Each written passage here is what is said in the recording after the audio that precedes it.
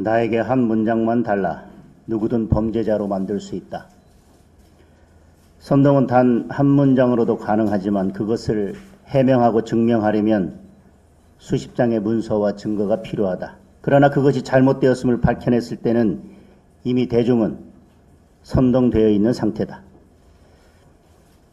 역사상 최고의 선동가인 요제프 게벨스의 말입니다. 조작과 선동이 자라는 땅에서는 민주주의가 성공할 수 없습니다. 비록 그것이 하나의 작은 씨앗에 불과할지라도 얼마 지나지 않아 온 땅을 가시덤불로 뒤덮을 것입니다. 조작과 선동은 민주주의의 위기가 아니라 민주주의의 파멸입니다. 지난주 한 언론을 통해서 최재형과 서울의 소리가 공모한 탄핵 공작의 실체가 드러나고 있습니다. 보도에 따르면 이들은 가짜 시나리오를 쓰고 영상까지 미리 찍어두고 윤석열 대통령에 대한 탄핵 정국을 조성하려 했습니다. 최재형과 서울의 소리는 바로 명품백 몰카 공작의 주범들입니다. 지난 대선 당시 김만배 신앙님 녹취 조작 및 대선 개입 사건으로 시작된 사기 탄핵 시도가 계속되고 있는 것입니다. 얼마 전에는 김규현 JTBC 제보 공작 의혹이 터지기도 했습니다. 더는 용인할 수 없습니다. 정권의 위기가 아니라 대한민국의 위기입니다.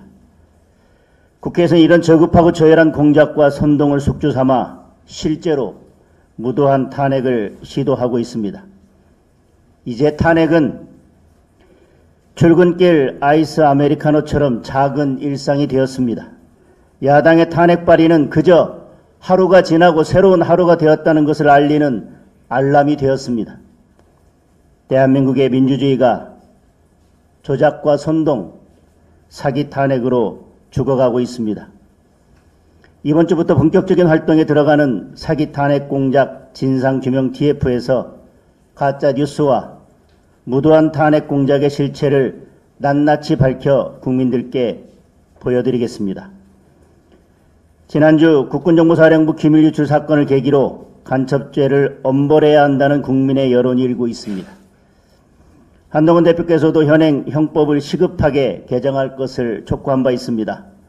하지만 더불어민주당은 간첩죄 개정이 안 돼서 기밀이 유출됐느냐며 동문서답을 하고 있습니다. 더불어민주당에 묻습니다.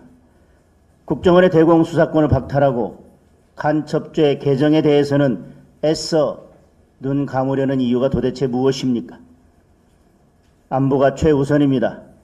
국회는 간첩죄를 제대로 처벌할 수 있도록 형법 개정 작업에 속도를 내야 할 것입니다.